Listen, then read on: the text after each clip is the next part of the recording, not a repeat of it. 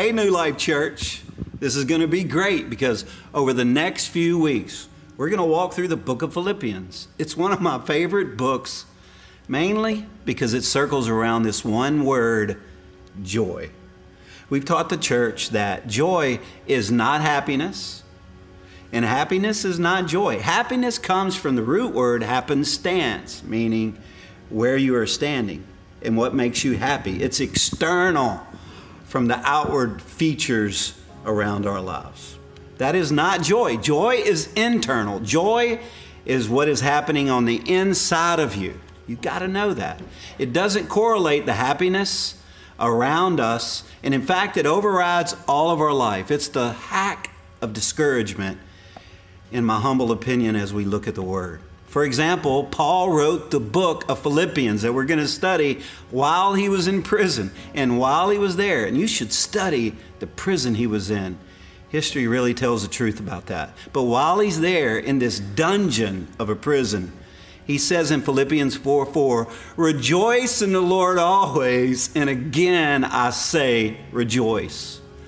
Paul had learned that in Christ he could keep joy no matter what was going on around him. And again, all of this while he was in prison. And they could not, in all of his life, they could not discourage him after he met Christ. They said, We're going to kill you. And he thought, Good, I'll be with the Lord. Or we're going to throw you in prison. Good, I need to write a letter to the people of Philippi. And that's why we're doing this book. It's incredible. Oh, yeah, one last thought about Paul. Paul knew these people were losing their edge. He loved them. He knew that they were being persecuted and that they were facing heresy. And they had lost some unity too. You got to be clear about that. So he gave them a huge truth bomb like he told them in Philippians 3:20. This will be helpful for all of us but we are citizens of heaven. He was saying, Look, you got to see it this way. We are citizens of heaven where the Lord Jesus Christ lives. So he was trying to let them know you are a citizen of heaven. You're not just on earth. That's a big thought. I did a series, it's so funny to talk about. I did a series once with the idea that we're not from around here in the book of Philippians. From that verse, we are citizens of heaven, not here. So, to illustrate it, I went to the University of Arkansas, and I don't know if you ever heard of that place. But I had my full LSU garb. I had the jerseys on, I had LSU flags around me, I had the hat on, I had LSU coffee mugs. So I got on the entrance sign to the university waving an LSU flag, and let's just say I received a few gestures. I don't know if all this was legal or not, but we did it and we didn't get arrested. But who can blame them for being upset about that? Because I was I was representing the wrong school. So I kept looking at the camera after I would do stuff like that and I would say, I guess I'm not from around here. I went to Starbucks on the campus with an LSU mug and I just put it on the counter and I said, fill her up. And they looked at me. The looks were remarkable. And I just kept saying, I guess I'm not from around here. And this is what Paul is saying. We're not citizens of earth. Remember, you're a citizen of heaven. He's basically teaching on having an eternal perspective. It's so important that we get that. So, we're going to go through the book of Philippians, and I encourage you to sit down and read this book. We're going to be teaching it, and we'll show you exactly how to go about this. All of us in the same portion of Scripture, statewide, at all of our campuses. And you know what? I think we're going to learn much just in the next few weeks. So here we go. Let's open up the letter right now. I told Rick when I saw this video, I said, here's my perception of this video. Jonah goes to Nineveh, stands atop famed landmark at University of Nineveh, holding banner that says "Go Tarshish." 39,000 Ninevites go to Jonah's church on Easter, Nineveh not smart. Okay, so I want you to go to uh, Philippians chapter 1 as we hop in today. If you've got your Bible, thank you so much for bringing that. It's been on my heart this week, for, or this year rather, for us to bring our physical Bibles to church. And so uh, thank you for, for doing that. Let me give you a little bit of backstory or context on the book of Philippians As Rick has said, this comes from the Apostle Paul. And this was written around 60 AD. So this is about 57 years post resurrection. And Paul planted this church himself around 50 AD, which so the church has been in existence about 10 years. So, about the length that our campus has been in this city is about how long the church existed. And so the audience is this specific church at Philippi. Now, one thing I think we have to not overlook when we think about reading the epistles is you have to realize when they were talking about the church at Philippi, that's exactly what they were talking about. There was a church at Philippi, a Christian church. It wasn't, you know, I told you last week, there are over 50 evangelical churches in our city limits alone. But Philippi, at this point in history, one Christian church. And so he writes them a, a letter. It is a circuit le- letter that will be passed around, but it's very personal to, to them. And so Philippi was a miniature Rome, meaning that there was a large number of Roman citizens there. Most of his listeners were a very affluent crowd. They had made a lot of income in that particular area due to um, gold and silver mining. The purpose of this letter is actually a thank you. So, as he's in prison and he's writing this, he is telling them, Thank you for helping me out. Um, a man went and visited him while in prison, gave him some money, and Paul is thanking the church for sending this person to encourage him and provide a resource. So, um, as I've already said, he is in prison, and it is a prison letter as is Ephesians and Colossians and Philemon, all from prison. So here's the fascinating thing about these books is that Paul takes an attitude of turning his prison into a platform. So he speaks a lot in Philippians, and we're going to cover this in the next couple of weeks about the difference between joy and happiness. So when he speaks of joy, he is speaking about something given by the Holy Spirit to you that is not attached to your circumstances. It is something that you possess because you are in Christ, that you have this uncanny ability, you have a knack to have a life full of joy regardless of what's going on around you. So let's go to Philippians chapter 1. I'm going to read from the NLT today. But we're going to read one verse here. It's verse 27, Philippians 1 and 27. And this is what he says Above all, now keep in mind, uh, um, whenever a writer says this, they are trying to tell us, I've already said some things I want you to know, but this is the takeaway. So, above all that I've said, I want you to get this part. He says, You must live as citizens of heaven. This means you got to take the perspective that this is a temporary life, that it's very fast, that our eyes need to be on eternity and on eternal things. He says, conduct yourselves in a manner that's worthy of the good news or the gospel of Christ. Then, whether I come and see you again or only hear about you, I will know that you are standing together in one spirit and one purpose, fighting together for the faith, which is the good news or the gospel. I want to repeat that one part. He says, I will know that you are standing together with one spirit, one purpose, fighting together for the faith, which is the, the gospel. So there is a heart of Paul reaching out to this church that he's planted. It's very important to him. He's very connected to it. He is the founding pastor of Philippi. And he says, above all that I've said to you, above thanking you, above appreciating the resource, above the encouragement, what I want you to know about all of these things is I want you to be unified. I don't want you to be in dissension. I don't want theology to split you. I don't want philosophy to split you.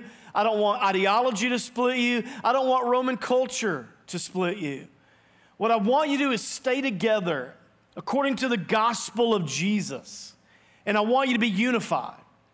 One spirit, And so it, it begs this question to say, well, then what would cause disunity among us. And I don't have time to, to start, uh, you know, creating questions about where we've all been. We're, we're a very young church, so this is not a generational church, meaning that all of us came here and did not grow up here.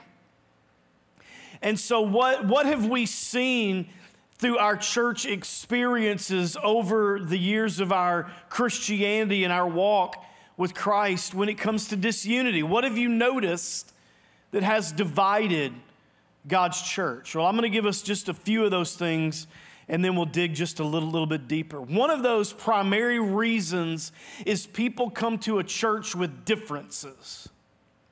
So they have things that they want to do that's just different. I can't tell you over the, the years how many people want to give advice to a church based upon just differences. Why do you dim lights? Why is, some, why is the volume up?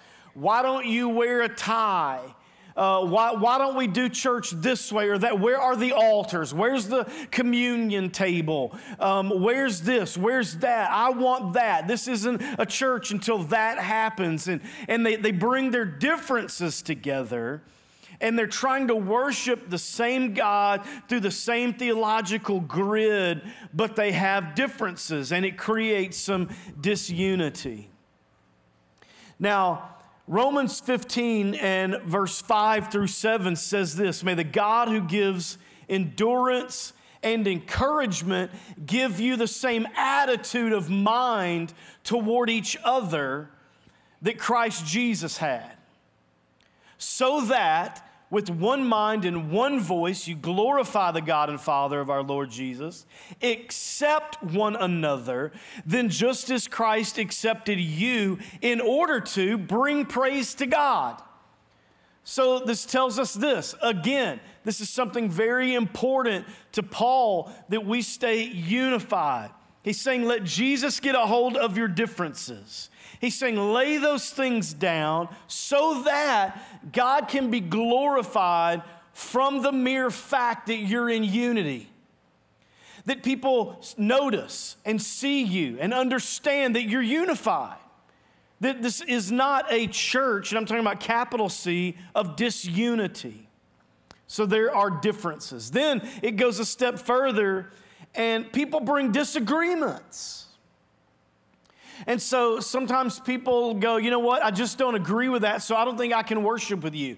And then they go into a very long process of what pastors call church hopping. So they go from one church to the next, to the next, to the next, to the next, trying to find a group that they don't disagree with or that has people in it who they have ever disagreed in life with. It's very, very difficult. I had a disagreement with my doctor this week. He weighed me, and I said, That machine is a liar. And then I heard the Holy Spirit say to me, I promise, He said, Kevin, I just want you to know the full armor of God is heavy. And I said, I understand, Lord. I got it. Okay? Sometimes we, we disagree with each other. And I think what Paul is trying to teach us is it's all right. So you can have these differences and you can have these disagreements and don't let them divide you or create a chasm or keep you from worshiping or keep you from being in a life group together or serving alongside someone together. But you can have a difference and a disagreement. Something sometimes happens between us and someone else and we can't overcome it it's like we get stuck in this angst. Okay, now we've all done it. You've done it, I've done it. It's like it never gets resolved. And we talk about forgiveness and we talk about being bitter and we talk about letting stuff go. But sometimes we have this situation where we, we just go, hey, this is, isn't resolved.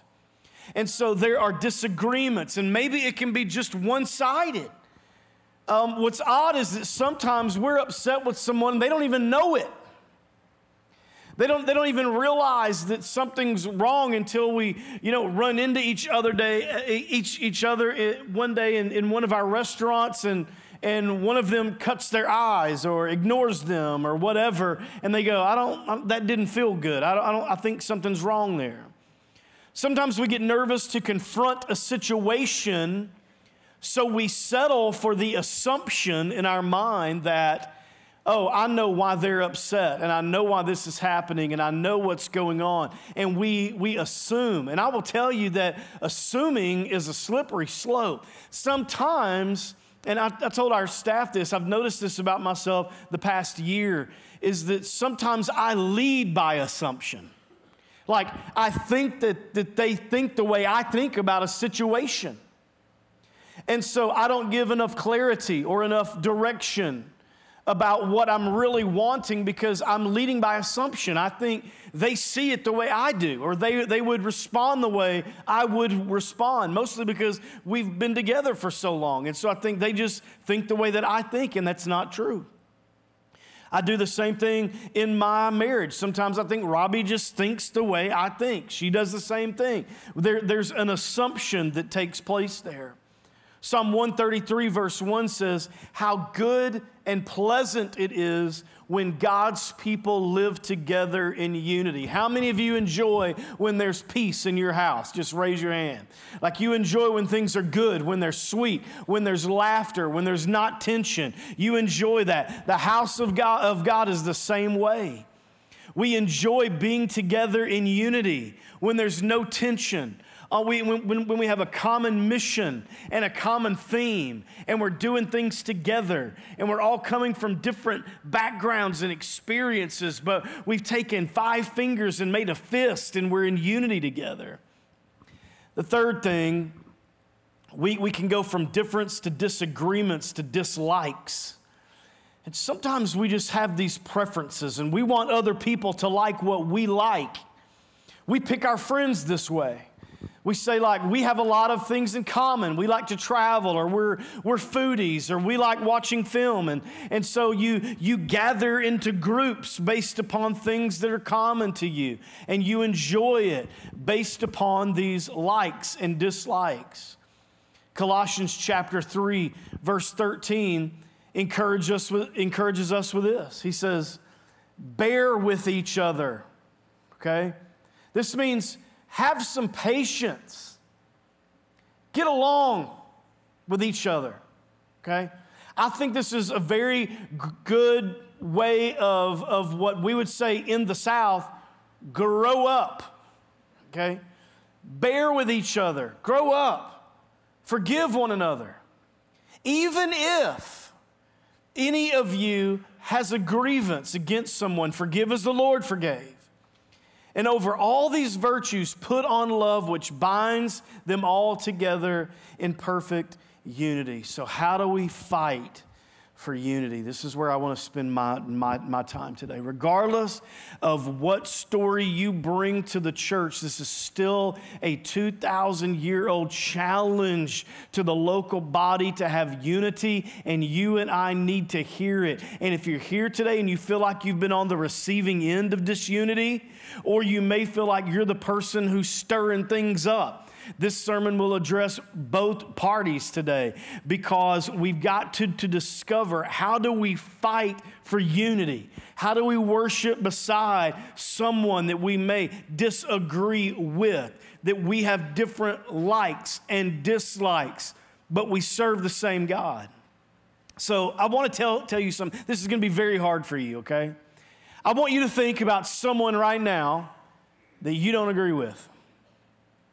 If they're beside you, just look, look at me, okay? No nudging, no elbowing.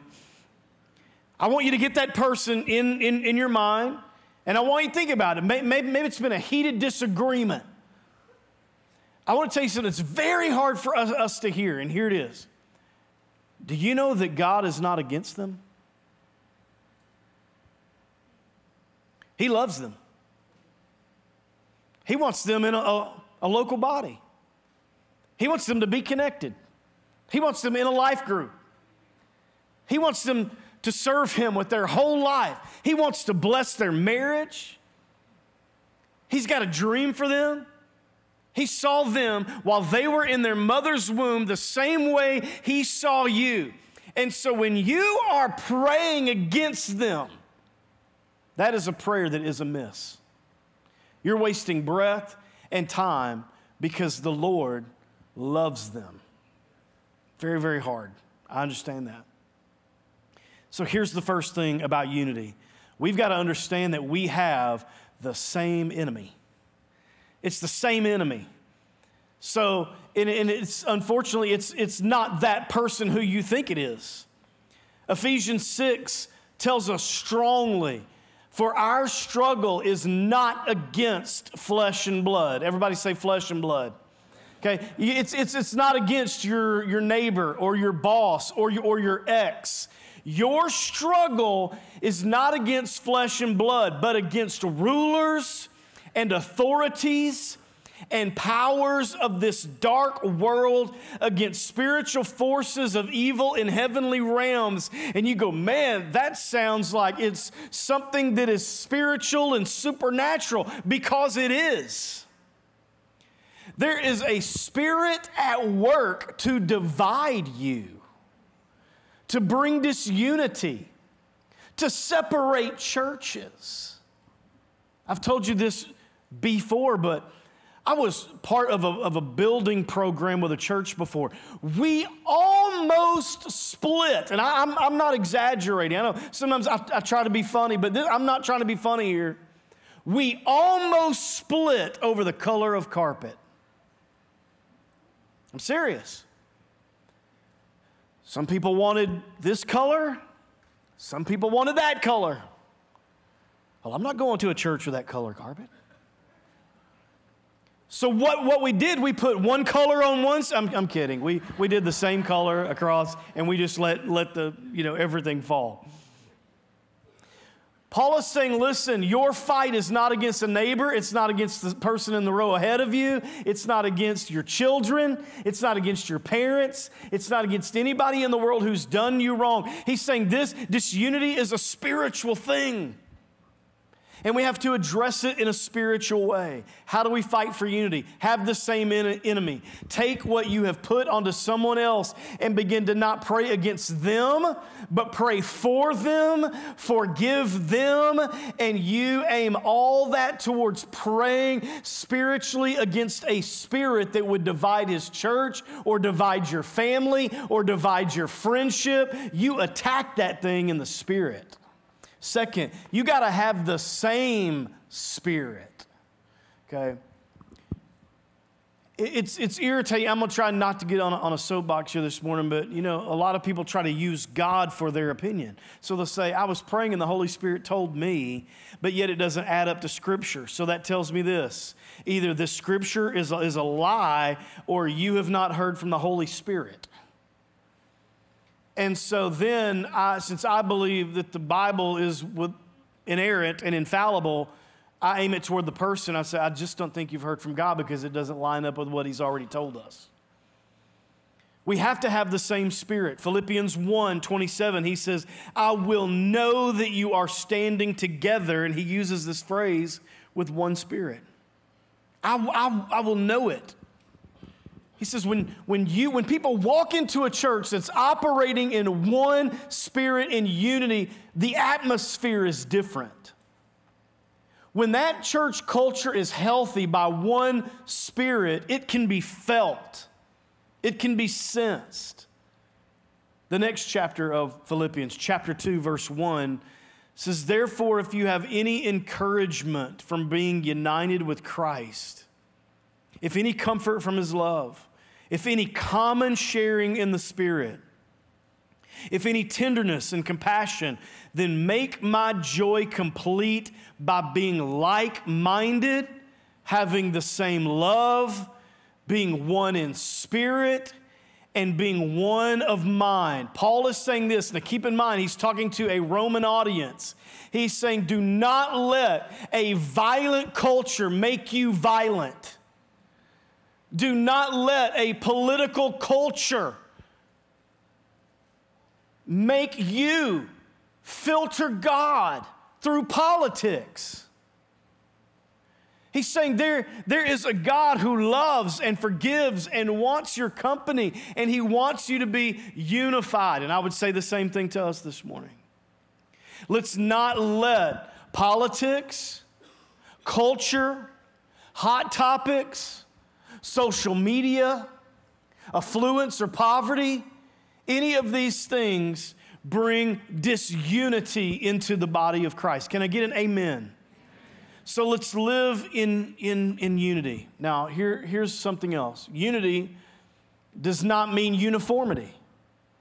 I'm not trying to say that we've all got to think the same way, believe the same way. I've told you many, many times one of the most beautiful things that I love about our church is it's eclectic is I love hearing all of your stories and your backgrounds. And, and we, we may disagree theologically, but that's okay. There's always been theological disagreements as long as we're on the same page as the essentials.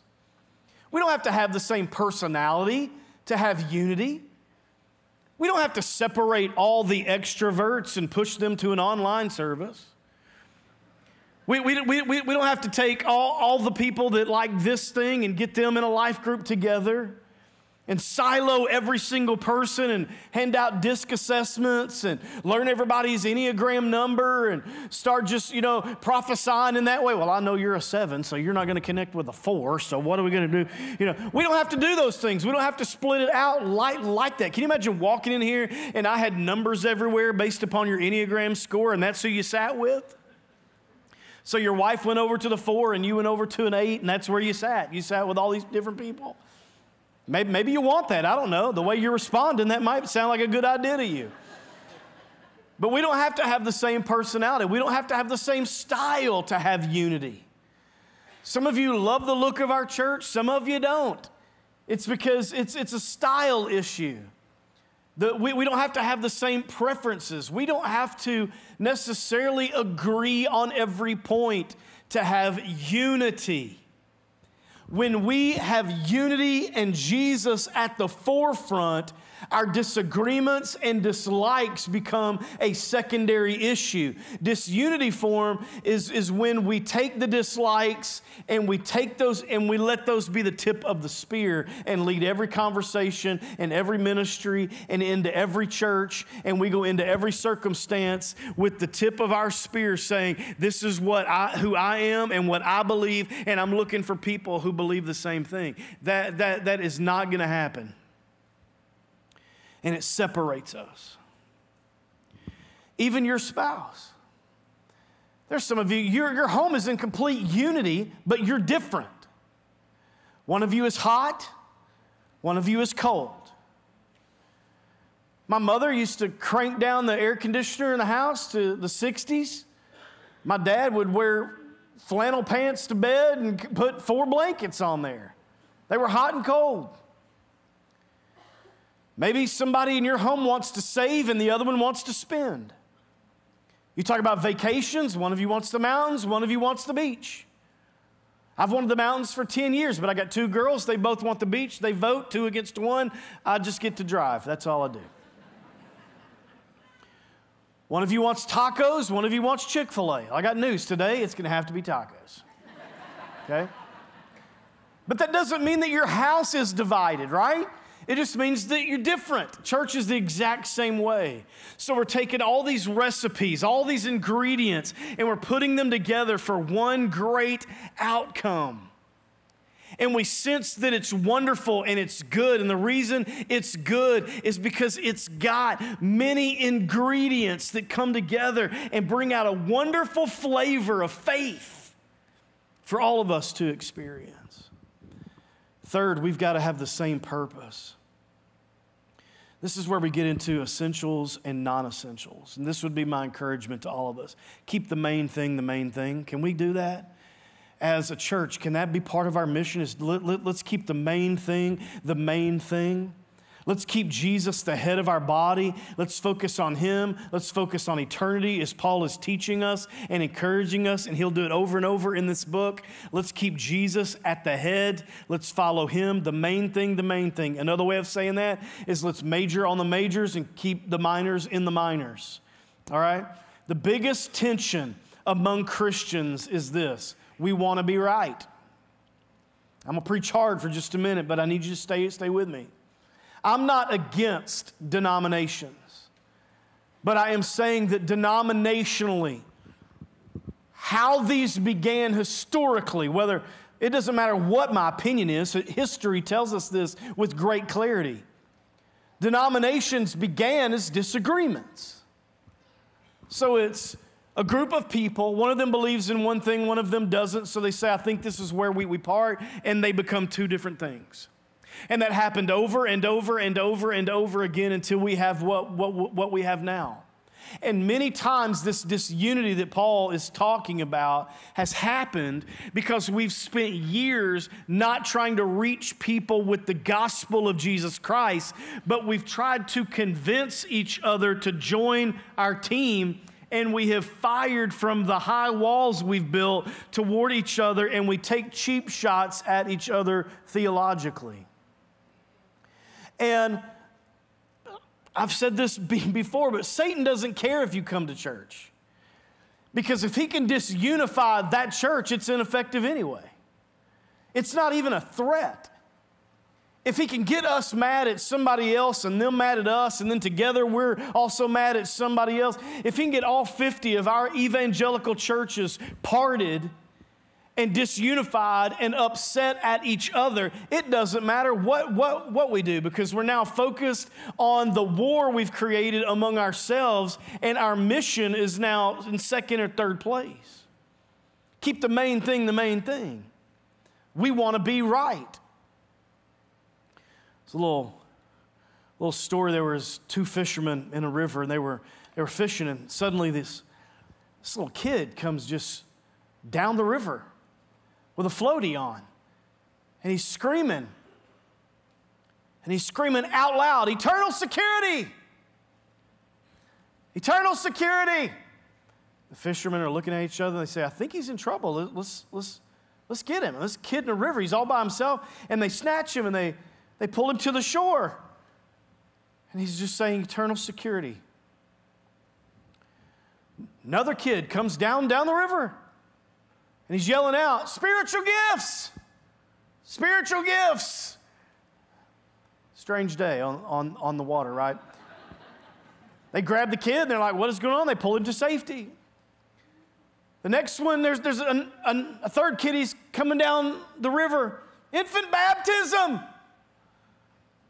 And they're talking to each other, and, and one guy says, I, I think we just need to stop fishing and wait on these kids and one guy says, No, I think I'm going to go up river and figure out who's throwing these things in the water.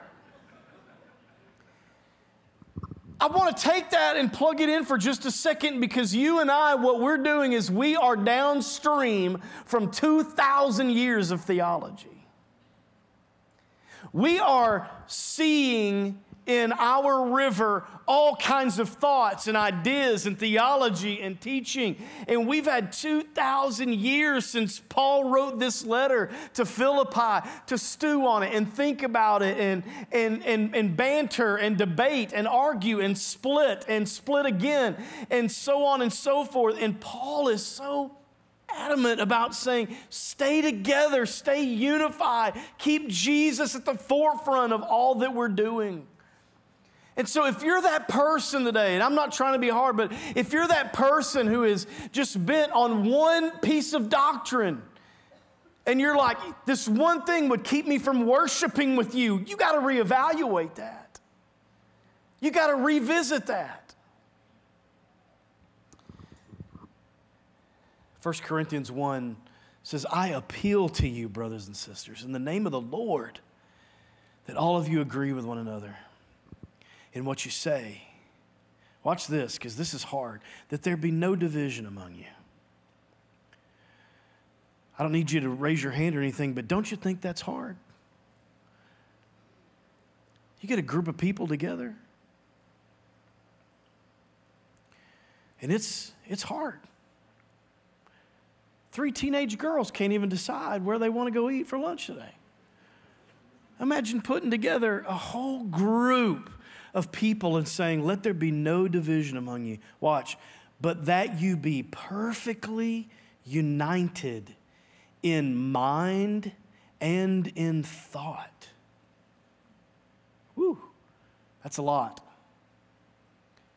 We could spend the rest of our days just working away, just, just honing this in. I want to be in unity with what the Spirit is doing. I want to be in unity. I want to be encouraging. I don't want to hold grudges.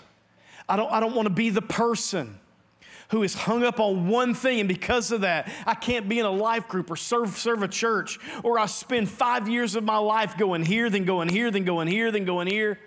I can't ever plug in and connect and put, put roots down. I had a teacher one, one time that always said, RVs don't have roots. Be a tree, not an RV. Find a place, bloom where you're planted, serve it, grow it, get involved in, it, in its, its mission. So, how do we apply this verse?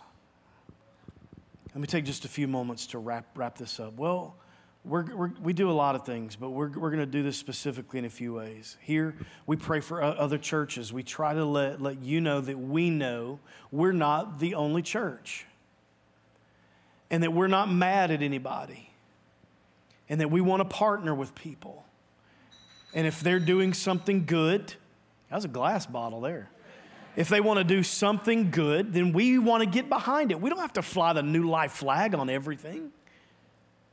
There are many things in this city where people do something better than we do, and we just help them. We just, we just resource it instead of trying to recreate it and say, well, we, we can be better at it than you, so we're going to be your competitor. No, we get behind it and say, let us help resource that and get it going. We want to encourage other people.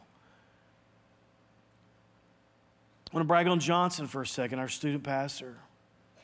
Johnson this year had it on his heart. He wanted to connect with student pastors in this city, and he created a group where they meet every single week. Different denominations, different cultures, different thoughts, different ideas, di- di- different leadership, but they stay to it. They do it every week. They, they pray for each other, they encourage. What is that? That's the church.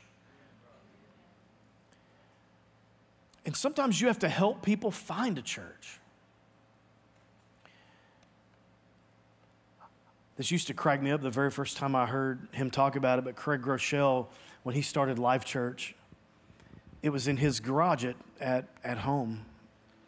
And they would just put metal folding chairs out and they would have church. And he had a little, you know, room within his garage and they cleaned it out and that was their very first children's church. It was just a little little room where like you and I would put a lawnmower. As you can see what's happened 20 something years later, it's exploded. God's really fav- fav- favored them. But what he used to do was occasionally he would have pictures and resources and phone numbers, and he would say, If you're here today and you think that I preach too long, here's a church in town. And he would show them the picture and the information. And he'd say, They, they, they, they preach between 10 and 12 minutes. That might be the church for you. If you're here today and you think that we don't do enough worship, like you want to have like an hour of worship rather than 15 to 20 minutes, here's a church that worships for an hour. And he would direct them toward a church. The temptation oftentimes is to become all things for all people, and you just can't do it. But I felt his heart behind it, whether you agree with that or not it's irrelevant to, to the point. The heart was, I want to help somebody get connected to a church. In his final hours, Jesus prayed for our unity. And if you have your Bible, you can go to John 17. I'm going to read three verses here. He says, I pray also for those who will believe in me, that all of them may be one Father, just as you are in me and I am in you, may they also be in us, so that the world may believe that you have sent me. I in them and you in me, so that they may be brought to complete unity. Then the world will know that you sent me and have loved them, even as you have loved me. One of his final thoughts toward his future church was that we would be unified, that we would be together. And I read something this week, and I'm gonna I'm I'm I'm gonna steal it, but just this little quote, and it was this. It was like, in today's culture, when a pastor gets up in the pulpit and says, like, hey, you need to lock into a church. And you need you need you need to be there. And you need to serve. And be in a life group. And resource it and all those things. That everybody goes, no, wait a minute, I am the church. I don't need to go anywhere, I don't need to do anything. But if you flipped that context, and if if it was a coach, okay, so let's take Purdue, who's about to win the national championship. If that Purdue coach says, guys, I need you to be, be at practice because it's important, it affects our team. It affects our, our, our mission. Nobody looks twice at that. You know what, what they say? I'll be there. We've got to make that shift in our minds to get that this is important. Christ died for it, gave his life for it, wants us in unity, wants us together, wants us in one spirit, wants us to be missional together, wants us to plant other churches, wants us to raise up pastors. There is no reason at all. I've got a big vision in my heart that we haven't been able to, to do just yet. But we need to plant another church out of our church. We can only do that when everybody gets, gets, gets unified. Let the small things go. Can we just agree to do that together? I'm going to let all that go. I'm going to let a disagreement go. I'm going to let a dislike go. I'm going to let a preference go because I can promise you this our heart is good. Our intention is good. What we want to do here is sacred and it's holy and it's meaningful. And I can just tell you from my perspective, if I if I were not pastoring this church, I would still attend it because I believe in it. We always want Jesus to answer our prayers, but what if we could answer His? That we would be in, in unity. So that's how I'm going to end with it today. What is one step that you could take toward creating more unity? To let some, something go and step down away from it, to step up, to lead something new, to take on a challenge, to say yes to something to make church part of your weekly worship, to call this place home and to be here? What do you want to do to create unity, to answer this prayer that Jesus prayed? Amen. Let's stand together. Father, I love you. I'm thankful for the house of the Lord. I pray today, God, for unity in your church. I pray that you bring us together like we've never been brought together before. And I pray right now, God, that we just, in this time of reflection, we would let things go. Lord, every disagreement, every dislike, every difference, God, we just let that thing go so that we can be perfectly unified in mind and thought. God, today we, we just reaffirm our love for the body. We reaffirm our love for each other. We reaffirm the mission of the local church, the mission that you gave your life for.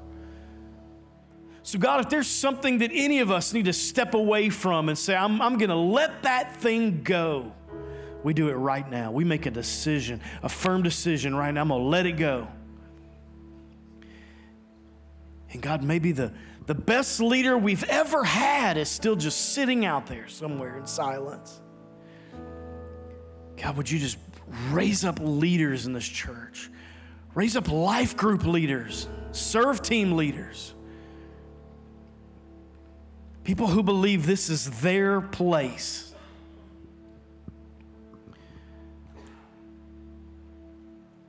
God, give us roots in this room today, God. And let us be in unity. God, may, maybe we need to find somebody today before we leave and just say, hey, forgive me. Will you just forgive me for the confusion? Will you forgive me? Hey, I think I've misunderstood you. Can we put this behind us? Let's just worship together. Let's keep the main thing the main thing. God, I pray your Holy Spirit just speak. What do you want from us? What do you want from us In Jesus' name we pray. Amen. Listen, we're about to worship the Lord one time. I'm encouraging you not to leave. Stick around for this. Let's worship. There's communion in the back and on the sides of the front. You can go and get communion, serve, serve your family, and let's just worship the Lord together. Let's ask Him, What can I do to unify your church today? Amen. Let's worship Him.